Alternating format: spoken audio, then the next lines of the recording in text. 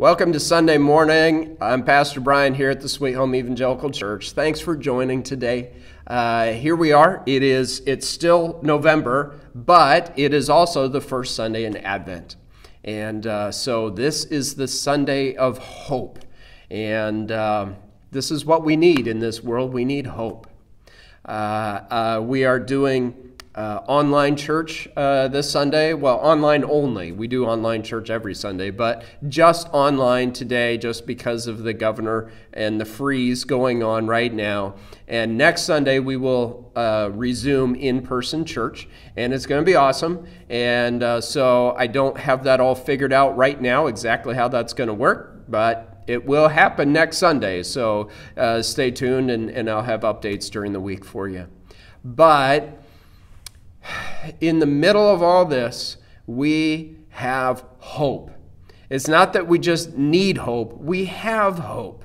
We, and our hope is in Christ. The first Sunday of Advent, the Bible reading is from Isaiah chapter 9. And, it, and this is a very relevant passage for us. And it says, Isaiah chapter uh, 9, verse 2 The people who walk in darkness will see a great light. For those who live in a land of deep darkness, a light will shine. Feel like we live in a land of deep darkness? Yeah, yeah, we kind of do. Uh, and a light will shine. And then it goes down to uh, Isaiah chapter 9, verse 6. It says, A child is born to us, a son is given, and the government will rest on his shoulders, and he will be called Wonderful, Counselor, Mighty God, Everlasting Father, the Prince of Peace.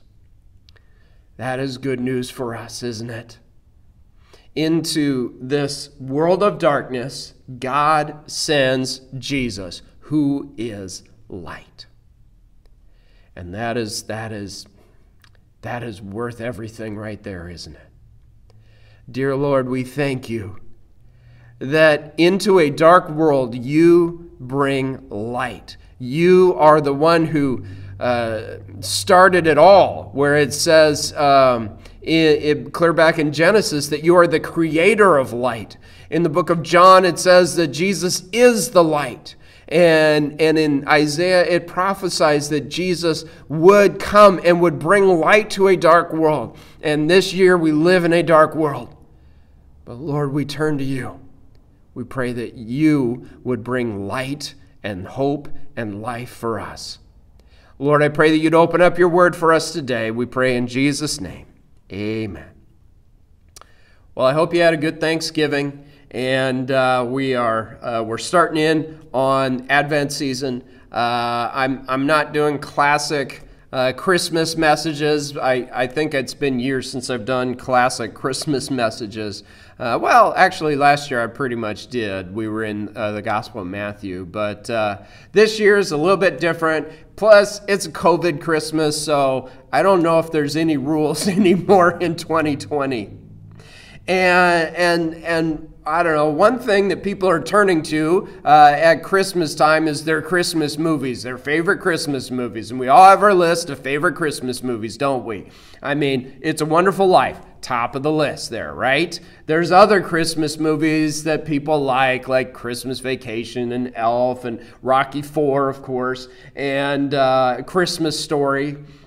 And. Uh, and then, of course, uh, Die Hard, right? There's a lot of, this is a controversial topic here. I'm starting big controversy. And uh, it's a big controversial topic if Die Hard is a Christmas movie or not. Now, just stick with me here okay? Don't don't be mad at me. I'm going to get slightly ridiculous but i do have a point so stick with me here for a moment because in, in the movie die hard uh, john mcclane is the hero. He is a, a new york cop. He comes to los angeles at christmas time to suffer and sacrifice in order to save the people who are held hostage by the evil hans gruber and his bad guys Jesus came at Christmas, but Jesus didn't come just to be a cute baby.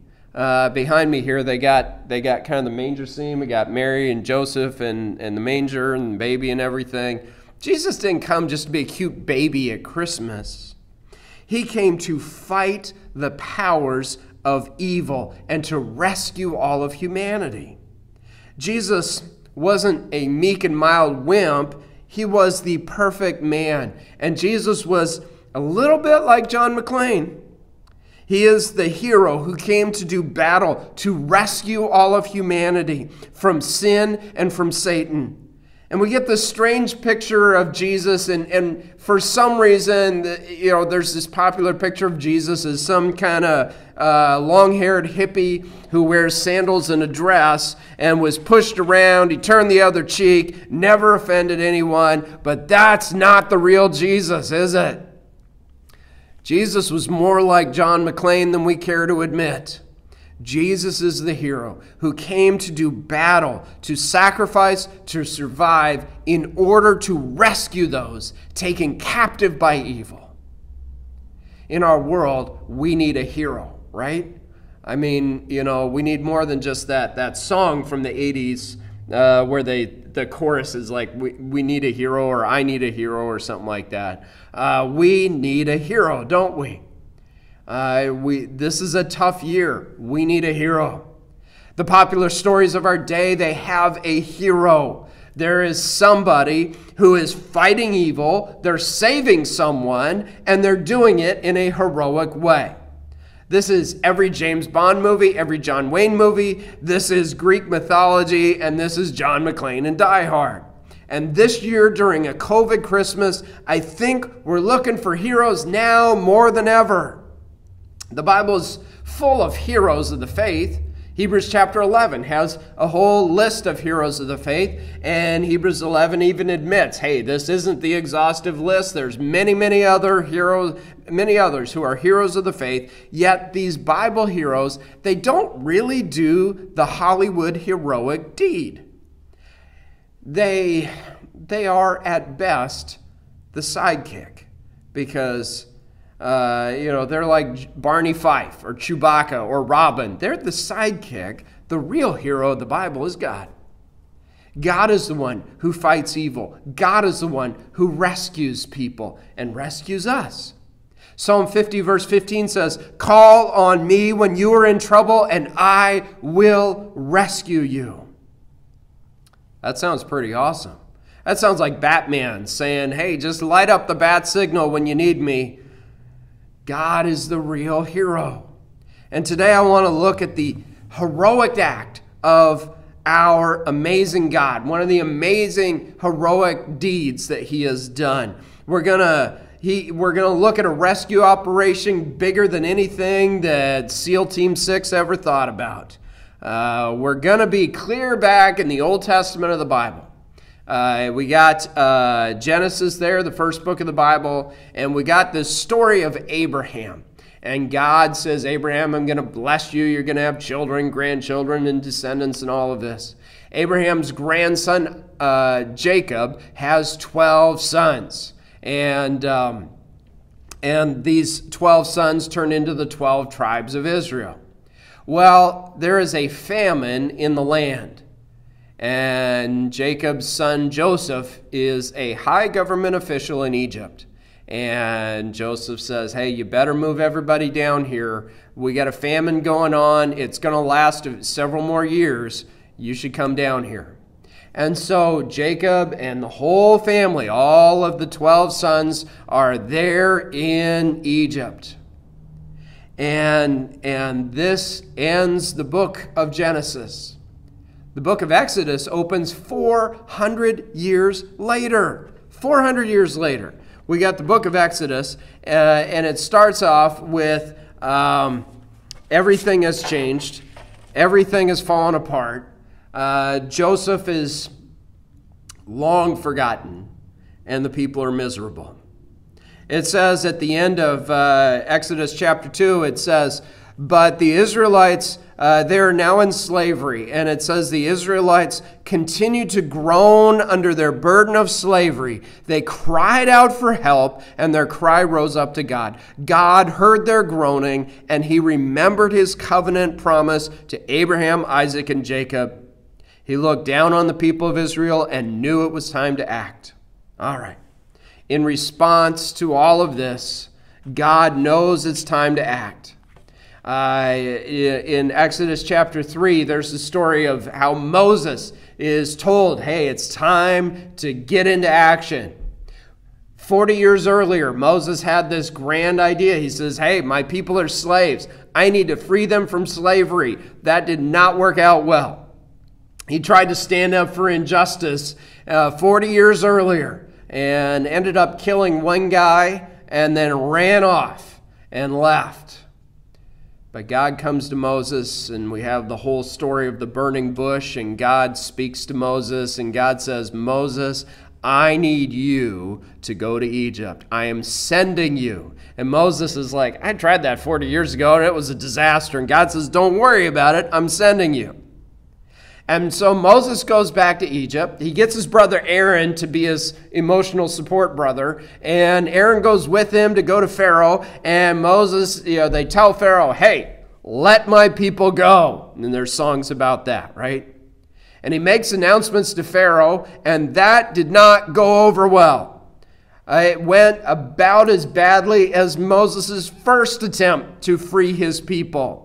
Actually, worse, because Pharaoh didn't want to let all of his slaves go, and he made life even worse for them. Now, uh, the people that Moses came to free, they're all mad at him and everything's falling apart. Moses is wondering, what have I gotten into here? And then we get to Exodus chapter 6, where we're going to be today. Exodus chapter 6, verse 1 says, Then the Lord told Moses, Now you will see what I will do to Pharaoh when he feels the force of my strong hand. Very heroic. When he feels the force of my strong hand, he will let the people go. In fact, he will force them to leave the land. Things are falling apart for Moses eh, because Moses is not the hero, is he? God is the hero. God is the hero that, that we need. God's the hero of the Bible. Our world is looking for heroes. And occasionally we, we fall for a hero like Moses, yet Moses is just the sidekick. Uh, this world is looking for heroes. The world, I, I mean, they look for heroes like, like uh, they look to professional athletes as heroes, which is bizarre, really. I got a pastor friend of mine. He is the biggest LeBron James fan you will ever meet. I, well, I, it's just, it's, it's bordering on, you know, kind of he may need some professional help at this point. He is a huge LeBron James fan. And every time LeBron James changes teams, he changes teams. And now he cheers for that team and claims he's always been a fan of that team. And, you know, I mean, LeBron James, he's a good basketball player and all, but I mean, my self worth and my well being in life really does not depend on who plays professional basketball these days, does it? People look to entertainers to be heroes for some reason, too. It is a little strange that people who make a living in front of a camera saying words written by someone else all of the sudden are treated like they're some great fountain of wisdom just because they talk good. Our world is so starved for heroes, they even look to politicians to be heroes. And I, I don't think that's a great idea either because you look at these politicians and it's just, uh, it's getting worse and worse, isn't it? The world is shopping for a hero. And, and they keep falling for all kinds of fake heroes. And at best, falling for a sidekick. Yet, we know that God is the hero. He's the hero in, here in Exodus. He's the hero we need. He's the hero, and he's about to do something that heroes do. In Exodus chapter 6, verse 5, he says, he says to Moses, You can be sure that I have heard the groans of the people of Israel who are now slaves in Egypt. I am aware of my covenant with them. God knows what's going on. God knows. He has heard the cries of the people who need a hero. He hears our cries when we need a hero. Um, he hears my cry when I need a hero, when I need help and hope. He hears our cries Do you need a hero right now? God hears your cry. It says in Psalm 50, verse 15, Call on me when you're in trouble, and I will rescue you. That's God talking there. God says, Call on me. we have this worldwide pandemic. This world needs a hero. We have a nation that is so dysfunctional, and politics has just ruined everything. We need a hero. We're all struggling, trying to get through this difficult world. Each, every single one of us needs a hero to rescue us. And what does God say about this? Now we get up to Exodus chapter 6, verse 6. Finally, up to the text here.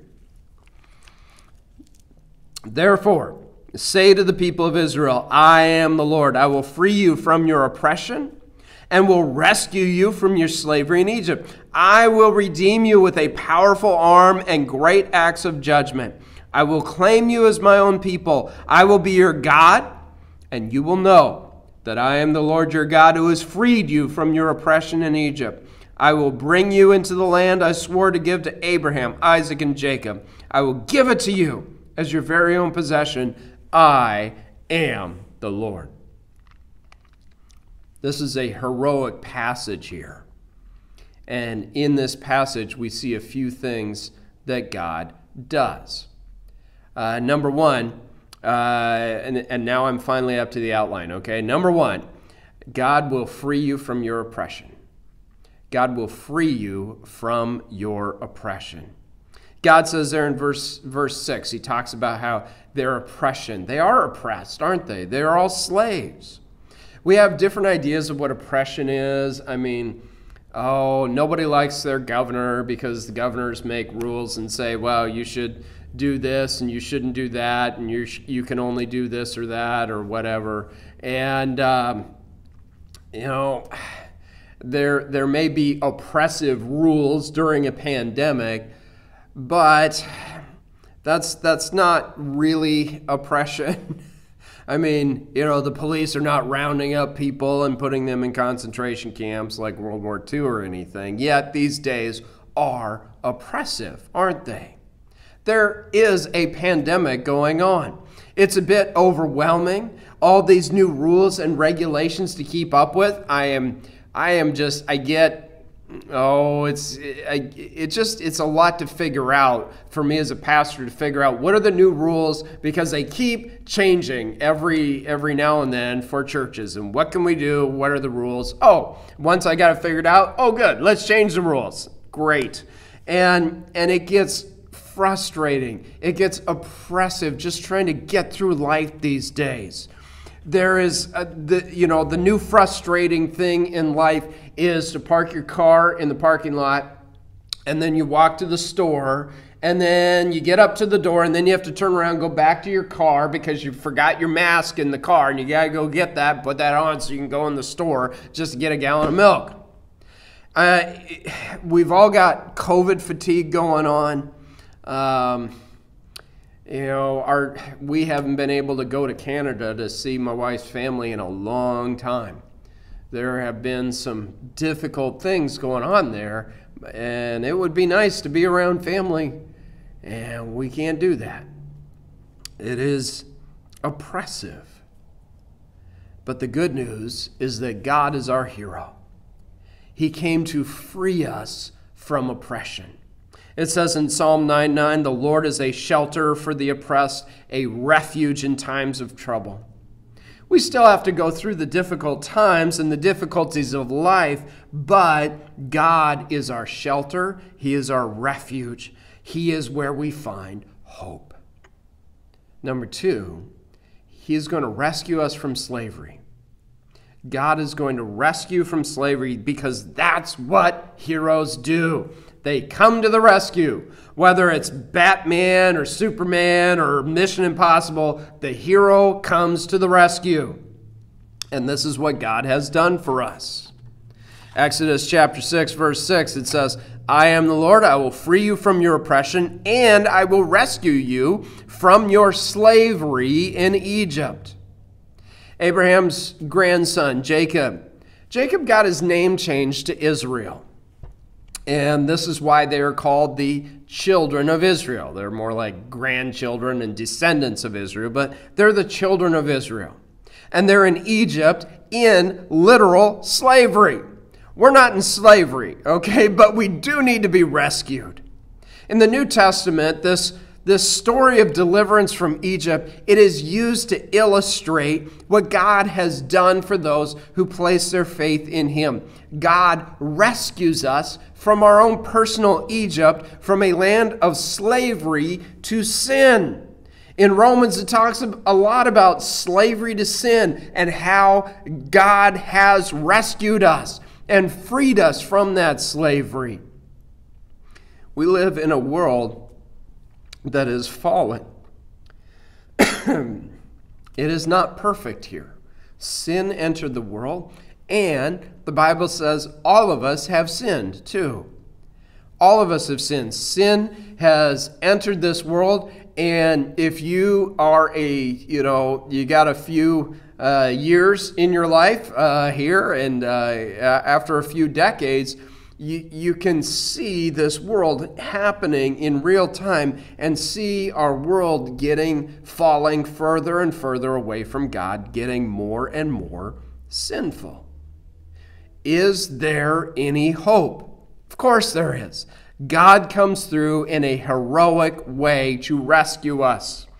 It says in Galatians 1 4, Jesus gave his life for our sins, just as God our Father planned, in order to rescue us from this evil world in which we live. God is the one who provides rescue for each of us. God will rescue you. You need to say, Yes, I want to be rescued, but God is there to rescue you. And number three, God will redeem you. God wants to redeem you. The Bible talks a lot about being redeemed. There's, the, there's old hymns. Uh, the old hymn, Redeemed, how I love to proclaim it, redeemed by the blood of the Lamb, redeemed through his infinite mercy, his child, and forever I am. God says here in Exodus chapter 6, verse 6, I will redeem you with a powerful arm and great acts of judgment. Redemption. Redemption. Um, we see this in a very small way uh, with pop cans and water bottles and things like that, right? Here in Oregon, that oh, a couple years ago, they bumped up the deposit on pop cans. Now it's 10 cents. And so um, they, they keep that 10 cents somewhere. I don't know where that, that dime goes, but there is that 10 cents. And so you drink that water bottle, and then you got to take it somewhere so that you can redeem your 10 cents and get your 10 cents back. This idea of redemption means it's going back to where it should be, it's going back home. The family of Jacob, Jacob and his 12 sons, they were free people going into Egypt. And somehow along the way, it never explains how or why, but they were put into slavery. And God is going to redeem them. This, this slavery they were in, it seemed to be not just individuals who owned slaves, but all of them, the whole people group, they were owned by the king of Egypt, by the Pharaoh. And God says, That's not right. These descendants of Abraham, they belong to me. God is the creator God. He is the one who created the earth. He owns it all and he, you know, he created the earth and everything in it. But when sin entered the world, everything fell apart. And it's not just a general sin in the world, but our own individual sins that separate us from God. However, God is the hero and sending his son, who we celebrate at Christmas, is all part of this heroic redemption for all of humanity. Hebrews chapter 9, verse 12 says, With his own blood, talking about Jesus, with his own blood, not the blood of goats and calves, he entered the most holy place once and for all time and secured our redemption forever. This is where you say amen, right? Okay, I know you're home alone, but say amen for me, okay? This is where you need to say amen. God rescues us, He redeems us and secured our redemption forever. Just like God rescued and redeemed the people out of Egypt, out of the land of slavery, He does the same for us through Jesus. Not only that, number four, God will adopt us. Not only does God give us freedom and rescue and redemption, but there is also an adoption taking place. Verse 7 I will claim you as my own people, and I will be your God. Then you will know that I am the Lord your God, who has freed you from your oppression in Egypt. The hero is going to adopt the one who he rescues. This is a whole lot better than being adopted by SEAL Team 6 or something. This is all part of God's plan. God's plan is family. God, God talks about his goal of adoption. In Galatians chapter 4, verse 4 and 5, it says, But when the right time came, God sent his son, born of a woman, subject to the law.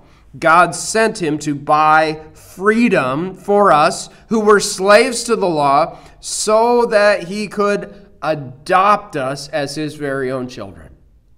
He sent Jesus so that he could adopt us. At just the right time, God sent Jesus to be born. God sent Jesus not to be a cute baby or to give us an excuse to bring a tree inside the house and eat candy out of our socks. God sent Jesus to redeem us and to adopt us so we can be in His family. That's why Jesus came. The hero comes and saves the day. He comes into our lives, He rescues and adopts us into his family. And then, number five, God will give us a home. God will give us a home. The children of Israel, they're in slavery in Egypt. At the end of chapter 2, they're, they're in bondage, they're in slavery. They cry out to God in chapter 2. And we, you know, we see that in the end of chapter 2. And, and then this is the normal state of things, isn't it? When we have problems, that's when we turn to God. I, I, I've seen this over and over again as a pastor. Uh, people, they kind of ignore God, they ignore church, they ignore reading their Bible. But then when tragedy strikes, oh, Pastor, I need you. I need God. I need you to pray for me and all of this. We turn to God when there's difficulties going on. And they cried out to God, but they didn't even know what that would look like. But God has a plan, doesn't He? He's not just going to pull off a rescue operation for hundreds and thousands of people, bringing them out of oppression and slavery. He's going to adopt them into his family. He's going to provide a home for them. And this is far beyond what they had hoped for when they were crying out. They were just crying out for relief from their misery. It says in Exodus chapter 6, verse 8, I will bring you into the land I swore to give to Abraham, Isaac, and Jacob. I will give it to you as your very own possession. I am the Lord. It took them a while. They eventually made it to the promised land, the land of Abraham, Isaac, and Jacob. They're, they're buried there in Hebron, uh, there in Israel. And the, the children of Israel still live in that land. That's why they call it Israel. God had a promised land for them to go to. God has a promised land for us too. Jesus told his followers at the Last Supper in John chapter 14, Hey, I'm going to go and prepare a place for you. In Corinthians, it talks about this, this place that is. Um, that when you place your faith in Jesus, that you have an eternal home not built with human hands. God is the hero who can give you and will give you more than you can ask or imagine. He provides rescue. He adopts us into his family. He provides a home in heaven for us. The question is will you be turning to him during this time of difficulty, during this year of difficulty? Will you turn to him? That's the big question. People turn to all kinds of things. I mean, the past few months, people turn to politics, look to politicians to solve all their problems. It's not going to happen. We need a hero, and that hero is God. Will you turn to him? And then we have the sad verse in Exodus chapter 6, verse 9. So Moses told the people of Israel what the Lord had said, but they refused to listen anymore. They had become too discouraged by the brutality of their slavery. Are you discouraged? Are you frustrated? Are you lonely right now? I feel like most of us have some of that going on. Don't be too discouraged to hear from God. Don't be too discouraged because God is the hero that you need. Uh, there's all these fake heroes uh, in this world, uh, these alternatives and possible sidekicks, uh, but uh, God is the hero that you need. Will you cry out to Him today and say, God, I need you? I'm living in this dark world. I need you. I am in slavery to sin. I need you. I need to be redeemed. He does that uh, when you ask Him to forgive you of your sin, He will redeem you and bring you back to the way it was supposed to be before sin entered this world with Adam and Eve. God was in relationship with Adam and Eve, and He desires to bring you back to that. And you can have that when you place your faith in Jesus. And He's going to adopt you into His family, and you've got a home in heaven waiting for you. Isn't that good news? That is great news. As we head into this Advent season, God is the hero we need. Lord God, we turn to you today. Lord, we thank you that you are this heroic God. You do what heroes do, and so much more amazing than anything we could ask or imagine. You saved us not temporarily, but eternally. And you have a eternal home in heaven waiting for us when we say yes to you. Lord, help us to be your people. Lord, we trust in you. We pray in Jesus' name. Amen. Lord bless you. Thank you for joining me. Have a great week. And uh, yeah, catch us later. Uh, I got we do videos during the week, and we'll have Sunday uh, next Sunday coming up. We'll talk to you later. Bye bye.